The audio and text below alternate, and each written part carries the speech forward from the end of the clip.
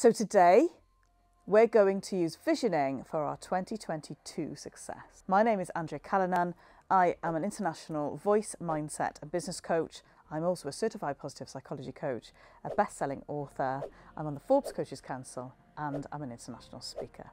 So, as a business coach, I talk a lot with women who want to set their goals in their business and they're looking at what they want to create and they have some idea of their vision, but the universe loves specificity, loves it. And what we often don't do with our vision is we'll just think about somewhere in the distant future and we'll think about what we want to create and wouldn't it be nice. And the thing is that type of visioning for me is lovely as a starter, but it kind of feels a bit like a pipe dream. It kind of feels like something that may or may not happen, you know.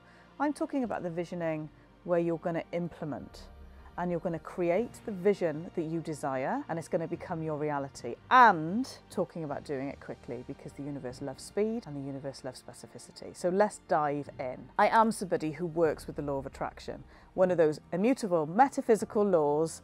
I definitely work with it. I started working with it around 15 years ago. My life has changed unrecognizably since I started employing and working with the law of attraction. And one of the main ways in which I started doing this even was just simply by creating vision boards. Really simple. And we're talking about Blue Peter style, cut and paste, cutting things out, sticking them on a board. These days I do it digitally and I sometimes I will do it physically as well. But this is the thing. You write down a goal or a vision and you're 20% more likely for it to happen. You create the vision so you can see it either in film form or pictorial form or on a vision board or something, you create the vision and you are something like 84% more likely to achieve it. And what's interesting about that is because our brains are really amazing. So what we can see, we can be. All of those cliches that you hear, the reason they're cliches is because they're true. If you can hold it in your mind, you can hold it in your hand and all of these things. So how? How do you do it? So many people say to me, I, I don't get it, and you know, people talk about manifesting as all too woo woo. How do we actually get there? Well, look, let me tell you in a way that I teach my mindset and business clients, some of whom have never heard of the law of attraction, some of whom simply want to make more money. That's all they want. They just want to make more money, they want to be happier, they want to have more success. So let's just break it down to brass tacks. The first thing about visioning is you've got to get clear. You have to get specific. So there's no point in saying, I want to be happy. That's great, that's a feeling that you want to emanate, and that's somewhere where you want to be. But actually, we want to be really specific. So my happy place is on the island of Ibiza, preferably in summer, preferably in a place of my own that is near the sea. I want to be able to see the sea. I want to be able to have an outside space where I can eat and drink and I can have an outside lifestyle.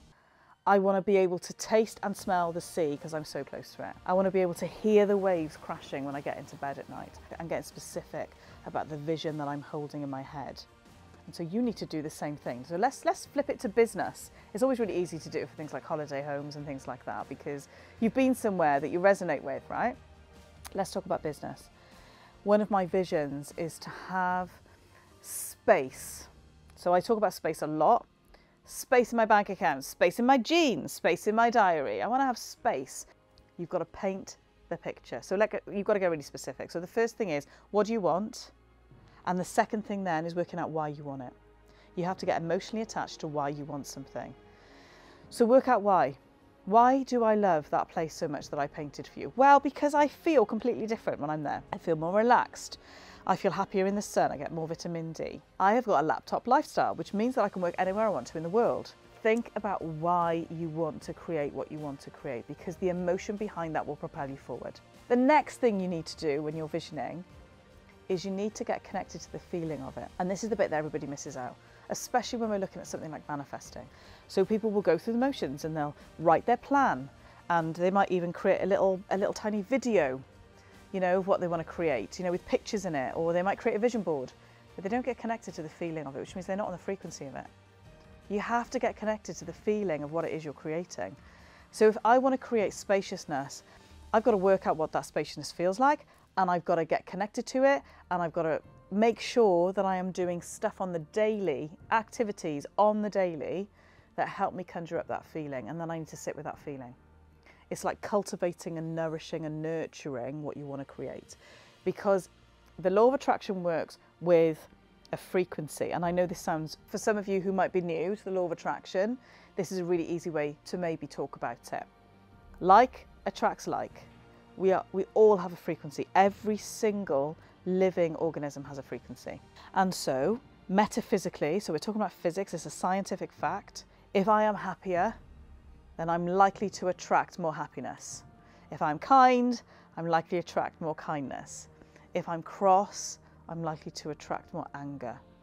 If I'm sad, I'm likely to attract more sadness. If I am happy and successful and excited and I've got all of those high frequency feelings, I'm likely to attract more of that. So if what I want to attract is calm and freedom and happiness and spaciousness, if I want to attract that, I have to cultivate that in my everyday. And the reason why I'm doing it is because I'm connected to the emotion of what I want to create and why I want to create it. And if I do that, it's going to happen quicker. And by the way, if your big vision is a big, big, big vision, and it might take a bit longer to bring into fruition, what you'll find is by cultivating those feelings every day, you're still going to feel like a winner. So it's an absolute game changer and a win win for you to get really clear on that vision, get connected to it emotionally, make sure you make a physical representation of it, and then step by step, you reverse engineer and you move towards it. And it has to be step by step, and that's a whole other video because that's all about strategy. And I can tell you about how we can reverse engineer what your end goal is. And we just take the baby steps back. We break it down from boulders to rocks to, you know, to stones and to the granular that you need to be doing. So I hope that this has been really useful and maybe this has debunked some of the noise that you might hear around manifesting or around visioning and about how to vision for your success in 2022. Get clear, get connected and make sure you get visual about it. And let's see what happens. Let me know in the comments what you think on social media. Come and DM me. Let's have a conversation about it. And I'll see you next time.